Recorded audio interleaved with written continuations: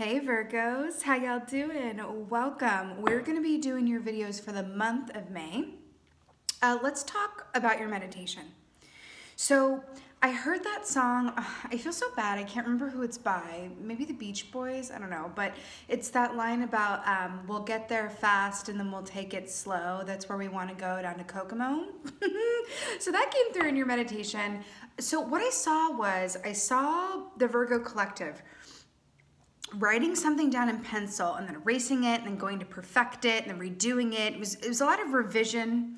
And then I saw, and it was like on a piece of paper with a pencil. And then I saw you guys take the, the paper and just, it was actually like a notebook actually, and throw it into a big bonfire and then go and sit down on this beach. And I heard, re, and then I heard the song, restructuring, reframing, throwing the playbook out the window and starting from scratch.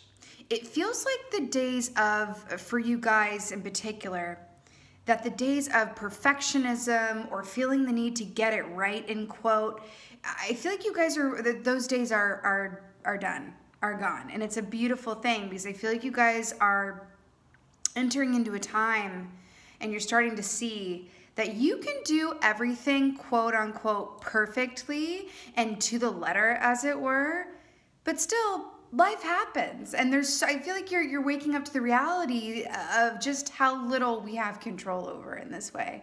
But it feels really positive and it sets within you this beautiful freedom to just do it live and live your life and you're you're realizing that like actually not only is tomorrow not promised not not in a dark way though like to, not only is tomorrow not promised but the plans of tomorrow are not promised. And since I understand now that to be the case in such a newly, you know, fully realized way, I am going to live, honey, my best life. And I'm not as concerned about the dotting of the I's or the crossing of the T's. I'm more concerned about my own enjoyment and sitting with myself in my own space and energy and dreaming up great things that serve me from an emotional and creative place. Stunning and gorgeous. Okay. Let's see what your animal energy is, my beautiful Virgos. It just feels like it feels really good. And it feels like I'm seeing the image of a cauldron that's bubbling and something creative is coming out of it. Like it's like bubble, bubble. But instead of toil and trouble, it's like, you know, like like really good creative gold genius but it's it's like creative gold towards your life. Like it doesn't have to be actual you know penning the next great novel or anything like that but it's about looking at your life creatively. I'm, I'm hearing that book um oh my gosh what's it called?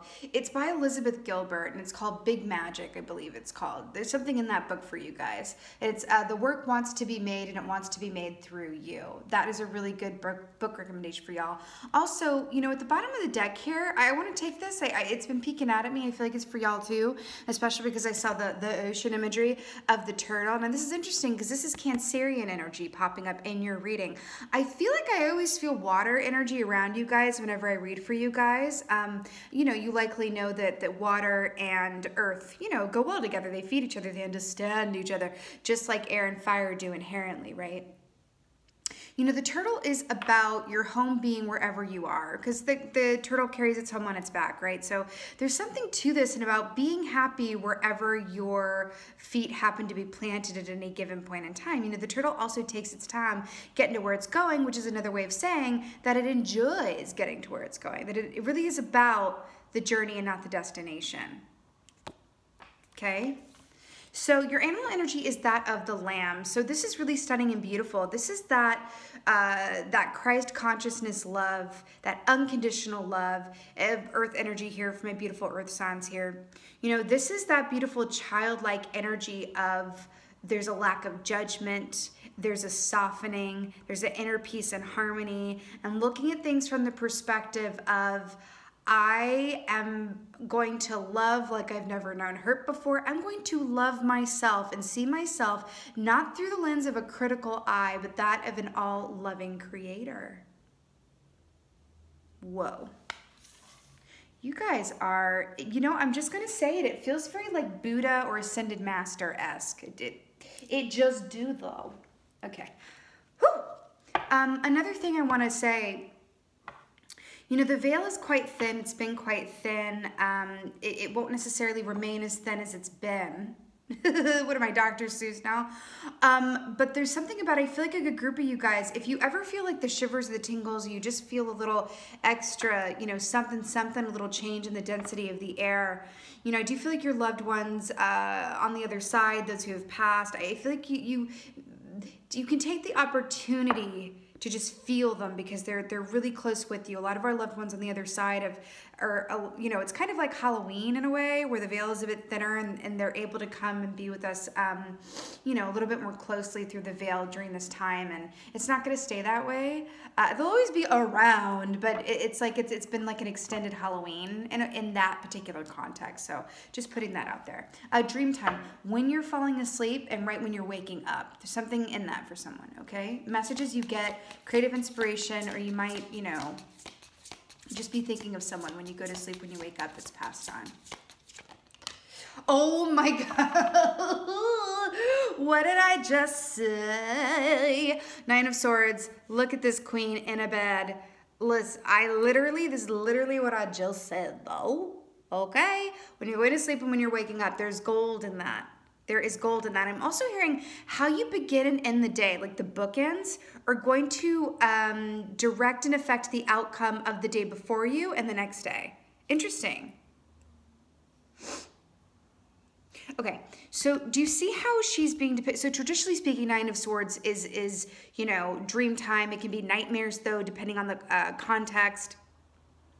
Um, but but the, I'm gonna tell you, you know what this is feeling like to me in this moment? It's really feeling like she is like, wow, like this is less of a, you know, Sturm und Drang, very angsty kind of position that I'm feeling from this queen, and more of a, I'm going to come from a place of instinct and intuition and feeling rather than using my eyes to see things. I'm gonna feel things out. Does that make sense? It's like she's closing her eyes to listen.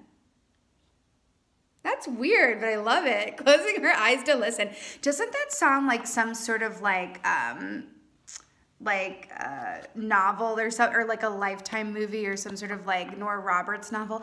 Next on Lifetime, closing her eyes to listen. That's what I'm getting though. I really like it, Virgo. It's like your mind is getting a much needed break. It's like I've done everything right in a certain way. And I've found that like I'm in no better position than I was if I just enjoyed getting here. you know what I mean? We do have the Fool on the bottom of the deck, which is, a, which is a fresh, brand new start. It also links up beautifully with the Lamb energy. Remember, this is like a childlike energy, uh, not in an immature context, right? But but more of a a, a, fresh, clean slate, I feel like is the point of this whole thing. Nine of Swords to the Nine of Cups. Hello and goodbye. This is that wish fulfillment key. Okay, I'm just gonna point something out. Okay, see, remember, uh, you know, how I said how you begin and end your day is going to directly affect the day ahead of you and the next day to come? And so it's like she's closing her eyes to listen, right? Or however that came forth is closing her eyes to listen, which goes into the Nine of Cups, which is like, aha, feeling good where I am. You know, this is very much speaking to me, again, this water energy here with the Kokomo and get there fast and then we'll take it slow Oh my God, and the turtle. We'll get there fast and then we'll take it slow. That's where we want to go. Ready, set, and visualize.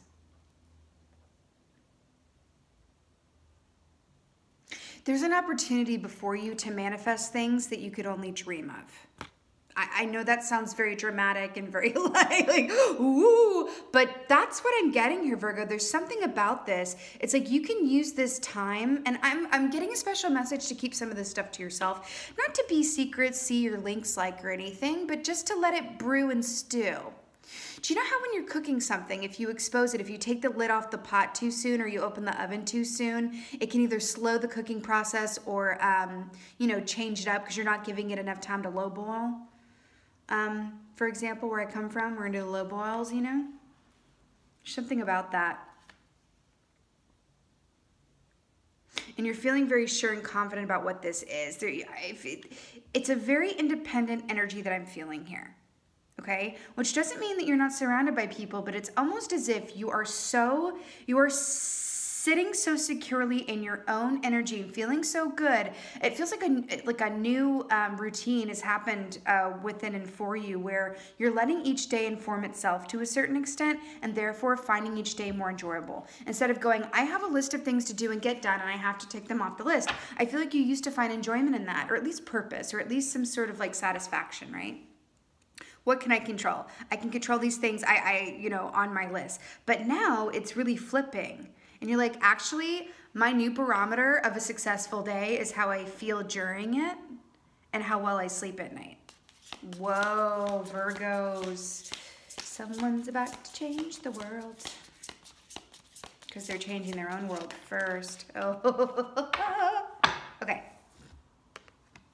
So we have the devil here, Capricorn energy. So I, I'm really loving this. So traditionally speaking, these are things of everything in the 3D, right? Everything that we can see and touch and feel and, and discern in, you know, in a real, you know, 3D sort of way. It's interesting. So you know, these two folks right here that are chained together, these are the lovers from the lovers card, right? Which is Gemini energy, which is about choices and love. So the devil can speak of feeling chained or bound or that our choices are limited. And we know right? That that is not the reality at any given point in time. What I'm feeling with this intuitively for you guys, because look at how this is storyboarding. Look at how this is storyboarding. Closing your eyes to listen, right? Feeling your way through each day, right? Really stepping into a place where your the barometer of if, how successful your day was was if you enjoyed it. Woo! Which and you're, you're you're dreaming up you know how can i keep these good feelings going as life transitions to a semblance of schedule that it that it was before right? Before things changed right? Which leads you into a devil territory of wow now i'm back in the 3d world and land and i'm feeling like how can i hold on to and retain those feel good feelings when i didn't let my schedule or my to-do list inform how successful my day was, right? I feel like you're committing to doing things differently. And there's this feeling of wanting to hold on to, right? It's that wanting to hold on to these feelings that you're stepping into in this month. And I really like it. Nine of Swords. Okay. The chariots. This is the second time Cancer has come up in your reading, so you could definitely have Cancerians around you. Um, and I'm obsessed with that. You know, traditionally speaking, this is fast, forward moving, balanced energy, right? Look at the stars here. I'm really much drawn, I'm really drawn to the stars here. Stars are about wish fulfillment, right? And then you have the nine of cups here coming up. So the fact that this is clarifying, I think that this is exactly what I already said in terms of, you know, you're closing your eyes to listen, you, how you begin and end each day informs the quality and, and how the day feels with and for you and that it's a process of moving towards a reality that is deeply and actually, you know, actually rooted, right? Feasibly rooted in wish fulfillment and your ideal life and existence. Okay, I'm seeing something very specific, and um, you don't have to have seen the show, but it's it's what they're showing me, so I'll explain it. There's a show called uh, King of the Hill. It's an animated show that used to run on, um, I don't know, I think it was Fox or something. Anyway, so, uh, do we have some Southerners watching this? I just I feel like I'm I'm back in the South a little bit. Um, so in that show, there was a character named Kahn, and Kahn did everything right. Kahn was definitely a Virgo darling. So he did everything right. He got to work every day on time. He paid all of his bills on time. He he he ate three balanced meals and never stepped outside of the lines right? Never colored outside of lines, never stepped outside lines. Then one day he loses his job and he completely goes the other way and he's like, oh my God, I lost my job. He stops paying his bills. He starts partying, all that. He just completely goes to the opposite end of the spectrum. And they're showing me that right now. There might be some of you, and I do not feel like this is a lasting influence, but I'm saying what might happen around this, because the chariot is an extreme energy as well, is you might come out of this, you know, be moving into a place where you're like, everything was this certain way. I never stepped outside of lines. I used everything right, and then everything changed, and I have no control over it. And now I'm gonna go the complete opposite way and suddenly I'm having trouble like getting out of bed or I, but it's not having trouble getting out of bed. It's, it, let's reframe that. It's not having trouble getting out of bed. It's like I've gotten out of bed at the same time for so long and gone about my business and taskmastered myself. Devil is taskmaster energy as well. That now I'm gonna allow myself to lay in bed until, you know, noon o'clock drinking my coffee and watching a show or journaling or reading or FaceTiming my mom, you know, or whatever it's it's this complete flip and change where you're like i'm enjoying life. So in that extreme energy don't be hard on yourself around it. I feel like you are uh, making up for lost time around that. Like allow yourself to feel those extremes right in that context even if it's like eating cookies like in the morning. Like however this like you know comes up for you right? It's like oh my god like i'm gonna eat cookies. I'm gonna eat carbs like on a weekday. Allow yourself to go there for a little bit so that you can recalibrate back to the middle in a new reality. It's like flip flop back to the middle ground of, of this reimagined uh, reality that suits this you know new energy moving forward in your world right you're gonna have a much better time well by the way uh, on the interior um, bottom of the deck here's the empress. Uh, again with this crown of stars okay? I feel like you're being asked like what do if if if time and money were no object how would you spend your time? What would you do? You're being asked to really sit with that right now because on the other side of what's going on right now, because we are moving out of these energies, things are shifting and changing and the chariot isn't moving. I could tell you, if I had to if I had to tell you like what the collective energy is right now, like for everybody, it's the chariot. This has been coming up for me meditation, hmm, I don't know, every day. so, the, so just keep that in mind, okay? The Three of Cups here. This is good times with uh, more water energy here. This is reunions, good time with friends, getting together. There's no social distancing going on here, darlings. Um, this is this is you know reaping that harvest with those grapes here as well. You know I'm getting the Bacchus vibe as well because the devil kind of looks like a Bacchus. So Bacchus was the um, you know Greek god of partying and wine and the feel goods. This is exactly what I was saying with the Nine of Cups, the wish fulfillment, and the Three of Cups, allowing yourself to indulge in, you know, chatting with your with your friends more, you know, FaceTiming all day, you know, um, not sticking to a to-do list and just spending the day watching you know funny movies or romantic comedies or you know um, journal prompts or coloring or whatever that is. Allowing yourself to really sit in those energies. And again it really feels like you are conning it up in the way where it's like, no, I'm, I'm actually gonna, like, again, the success of my day, how successful my day was is not determined by what I got done, but how I felt during it. That's kind of amazing. The devil. I feel like by your birthday season, your life is going to look very different and for the better. And I think it might, I think it might, like, honestly surprise you. Okay.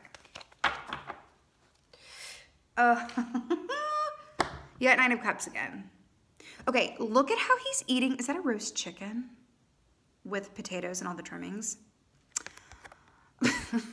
I might be slightly, slightly hungry with this reading beyond this food imagery. So this is the second time you've got Nine of Cups, which is wish fulfillment. They're also pointing out that Nine of Swords, Nine of Cups, and then Nine of Cups again. I was just talking about your birthday season.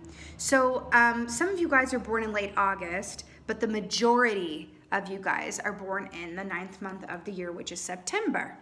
So I, am really hearing that again, look at this indulgence with the devil. Allow yourself those 3D pleasures. Allow yourself to go there because this time is not always going to be here. And I, I have a feeling you guys are the first. Um, reading of this round of May videos and I have a very distinct feeling that this is going to be a theme.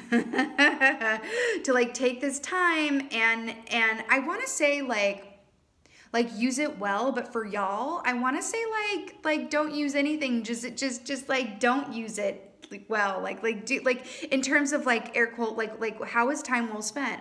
I feel like that's what you're asking yourself and you're looking at things very differently and going i'm going to let myself indulge in the pleasures of life. I'm going to let myself enjoy my life in a in a more fully realized way. I also feel like you guys are going to come out of this i feel like you might start getting some really good ideas creative ideas for new apps or businesses or um, something about that uh, creatively, you're, you're getting these new ideas. The reason that these ideas these ideas were always in your atmosphere and always wanted to come to you, but they couldn't get through because you were always so busy. So it's like allowing yourself to indulge in a moment to moment uh, way and letting the day inform itself is putting you in this beautiful place of receptivity where some genius ideas and some really great stuff is coming to you, right? And, and it's because you're in a place where you slow down long enough to listen and receive it, right? Let's get uh, Animal Oracle for you guys. Wow, Virgo. Really love this.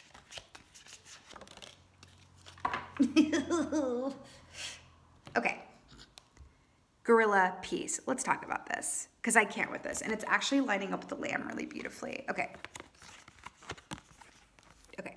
So remember when I said in the meditation that I saw you sitting on a beach and it was like, we'll get there fast and we'll take it slow. Kokomo, it's where we want to go. Um, do you see this gorilla looking out at this like snowy expanse? Actually, is he in the clouds? He's in the clouds looking down at the galaxy. Oh, Lord Jesus. That's beautiful. So I feel like this is exactly what this feels like for you guys. let's talk about gorilla energy though for a moment. Gorilla energy embodies the truth, as Brene Brown says. I, am just like feeling the South in this reading. Brene Brown is from Texas. I'm just feeling it. But also, okay, they're telling me that the, the point of the South thing is that Southerners in the South are known in part for things being at a slower pace down there. Okay, it, it is. Take it from me. It's slower pace, back to the turtle, going at your own pace.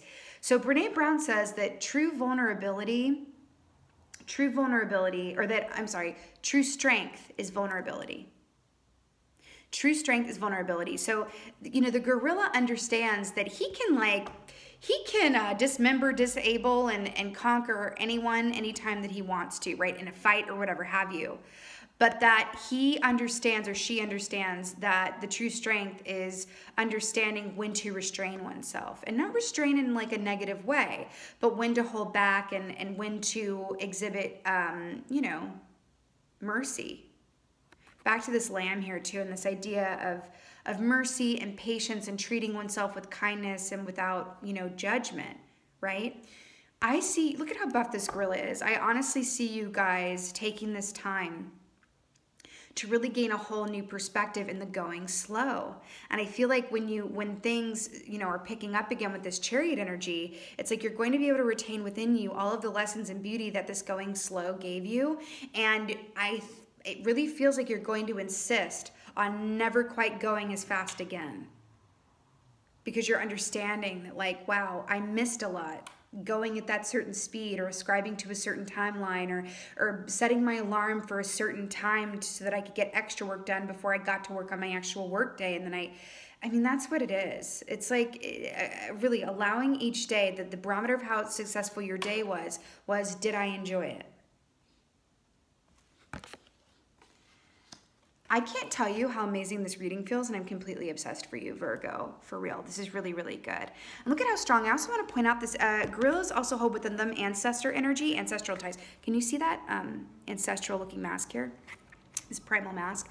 Because I also wanted to say, like, in your meditation, it was a return to the primal state.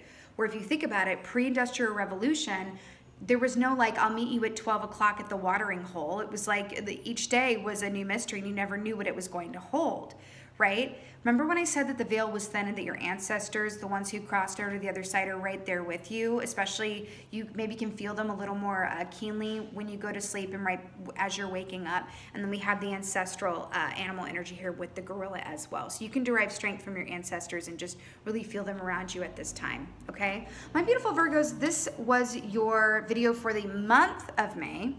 I am sending you so much love and blessings. I, this is beautiful. I really hope that this helped and resonated. If so, please let me know in the comments below. I would absolutely love that. And with that being said, just thank you so much for being here. And as always, thank you for being you. And be well. Until next time.